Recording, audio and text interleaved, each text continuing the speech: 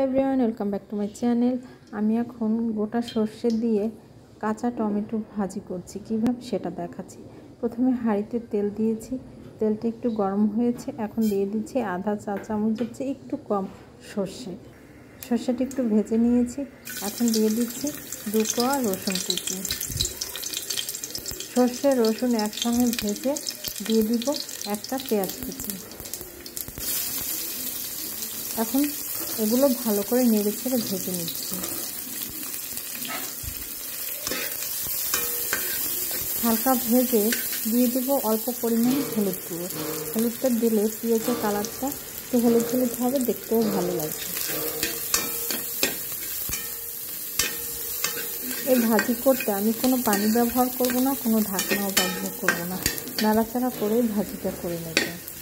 আর এখন আমি যে টমেটোটা কেটে রেখেছিলাম, ঝুড়ি করে সেই ঝুড়ি টমেটোটা দিয়ে দিচ্ছি।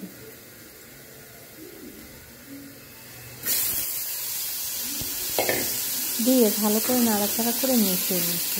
লবণটা একটু পরে দিব। এখন লবণ দিলে পানি বের হবে, তাই লবণটা আমি একটু পরে দিব। নাড়াচাড়া করে ভেজে নিচ্ছি, আর এখন দিব কাঁচা পাকা কয়েকটা মরিচ, আর দিয়ে দিব পরিমাণ মতো লবণ।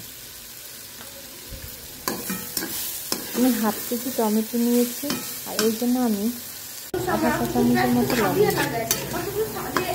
একটু লবণ ভাজা তলায় যখন তখন ভাজা হয়ে গিয়েছে। আমার ভাজি হয়ে গিয়েছে। এখন আমি প্লেটে তুলে নিয়ে আপনাদেরকে দেখাবো। তা আবার আসব নতুন আর একটা রান্না ভালো থাকবে গরম ভাতে খেতে ভালোই লাগবে।